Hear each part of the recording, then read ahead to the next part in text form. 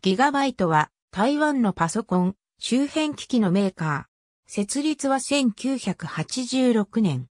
本社は台湾、二北市に所在、法人市場と民間市場の双方のコンピュータ製品の開発製造を手掛け、世界各国で販売している。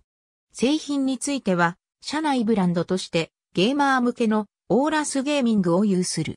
マザーボード、ノートパソコン及びグラフィックカードを主力製品として PC 用、ゲーミング機器、CPU クーラーなどを開発、販売している。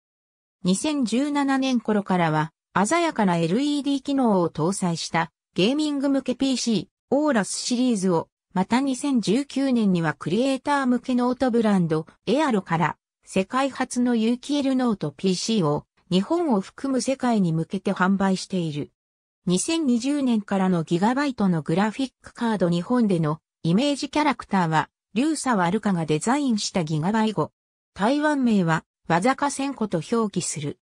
製品パッケージやブログなどで展開していたが、2011年1月に RMA センターの移転及びショールームが閉じられて、以降、ブログは更新を停止し、主だった活動もほとんどなくなっている。2014年ギガバイし、登場10周年にネットでギガバイトコ2014総選挙はあなたのお気に入りの動画に投票しよう。キャンペーンやフルカラーイラストと漫画集のギガバイコ10周年記念本電脳戦場がオリオスペックから発行された。その後、クリエイターズスタンプやキャンペーンの景品として用いられるようになっている。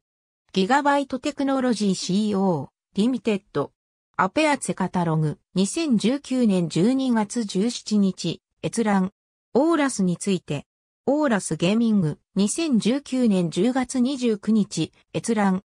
日本ギガバイト公式ブログギガバイトコ2014、総選挙あなたのお気に入りの動画に投票しよう。2014年、ギガバイトファン必見のギガバイ史10周年記念本、電脳戦女がオリオスペックで販売中引くエルミタージュ秋葉原。ありがとうございます。